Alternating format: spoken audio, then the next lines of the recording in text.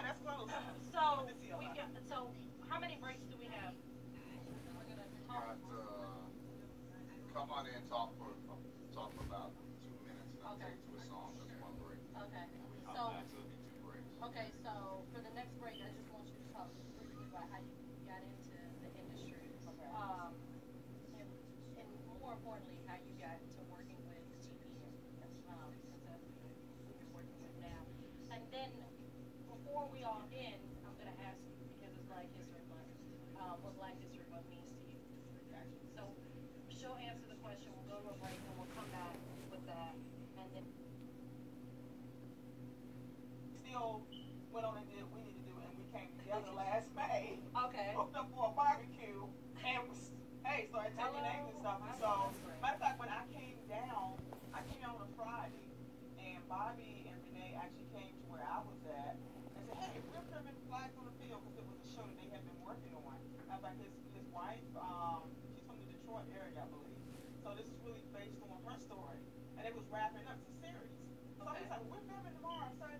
so come on down. So what else would you like to do? Come on down. Yes. Come on down. So I went down and, and um, got like a little, little part, set at the table, cute everything.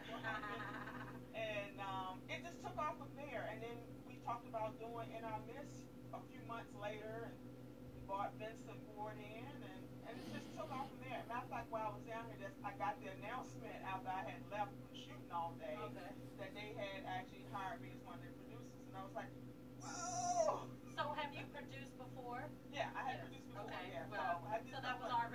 your in your uh, tr- your bag of tricks. And so how do you? I mean, is it because of you know just being an actress, you wanting to know how all the other facets of the industry work? Is that how that came about? I think you're, you're sort of curious to see what it is on the opposite side, um, because you can create on both sides. Okay. So I actually like both sides, I like working behind the scenes and really working with the actors and trying to make things, you know, jive the way they need to jive on, on the set. But um, I, I love it. So, I love both sides though. So I know that's right. So what if you had to pick one? Where where would where would you be? oh my, producing. Producing. Yeah. I can I can definitely see I can definitely see that. It takes a lot. So a, a, after the, the the break, we're gonna be back. Uh, MichaelandJoy.com is the website with Courtney, Daree, and Miss Cassie and me, Joy. Um,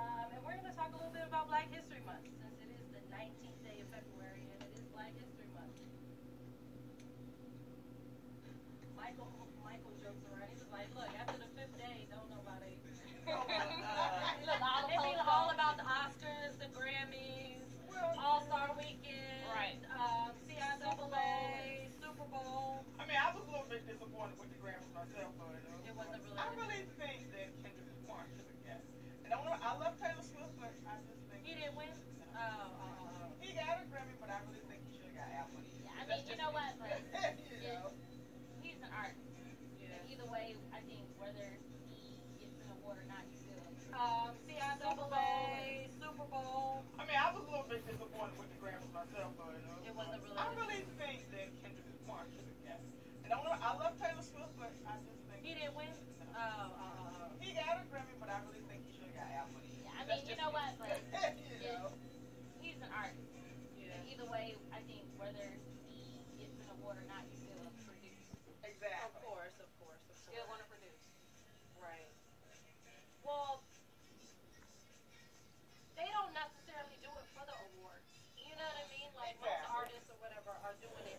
because that's what they that's what they love to do.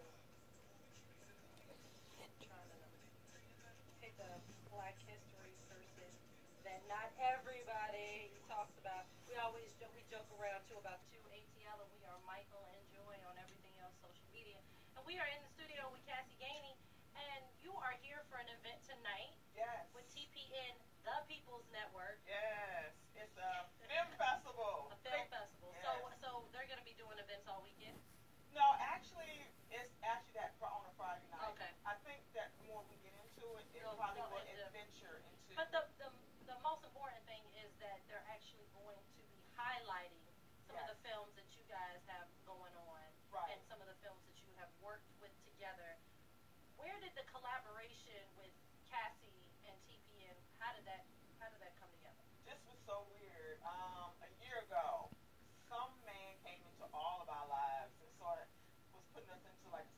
competition thing. Mm-hmm. And so we all got chosen, all like the clear blue. Didn't know each other, but got chosen like the clear blue.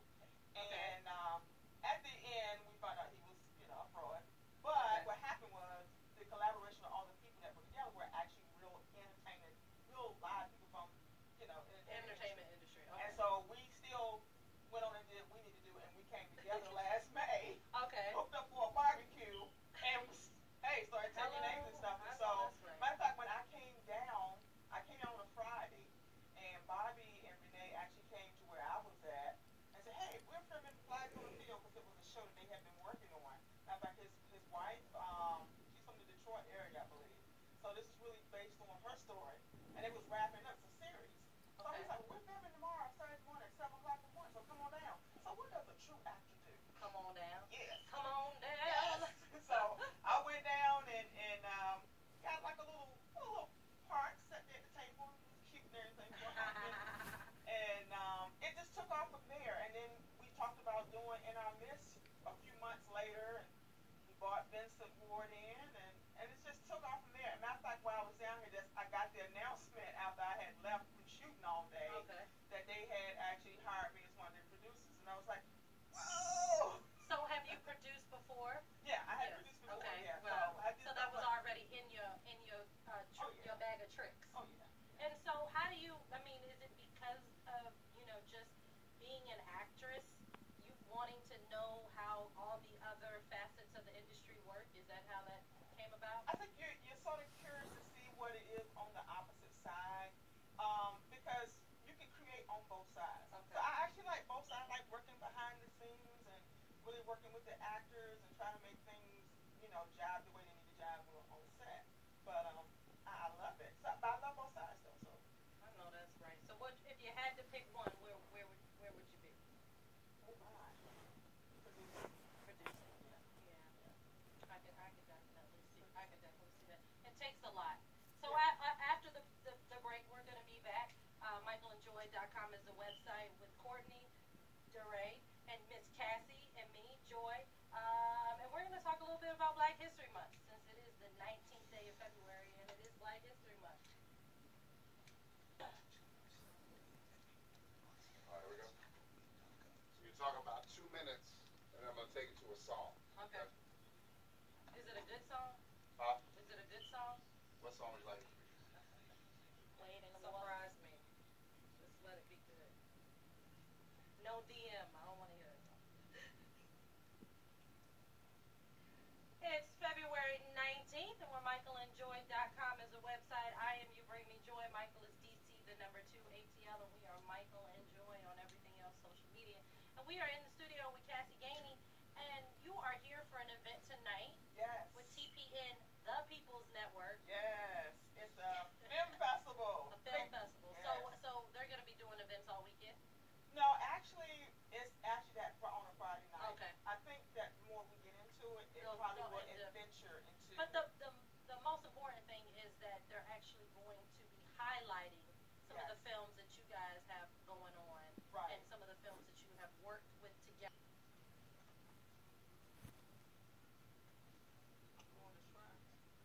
He you're gonna try. You better. You know what try means. Yeah, I'm gonna be in traffic.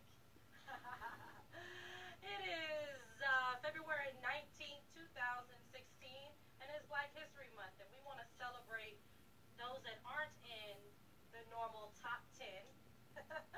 and they're incredible women in history. Dr. Eliza Ann Grier was an emancipated slave and the first African American woman licensed to practice medicine in Georgia.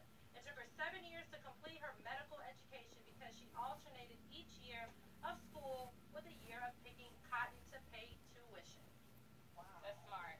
Right. real smart. Very smart. Exactly. That's. So the, the the beautiful thing is is that she finished, and so at the end of the day, I think you know, um, and I'm pretty sure Daree, you can kind of chime in, and and actually Courtney too, because you both are authors.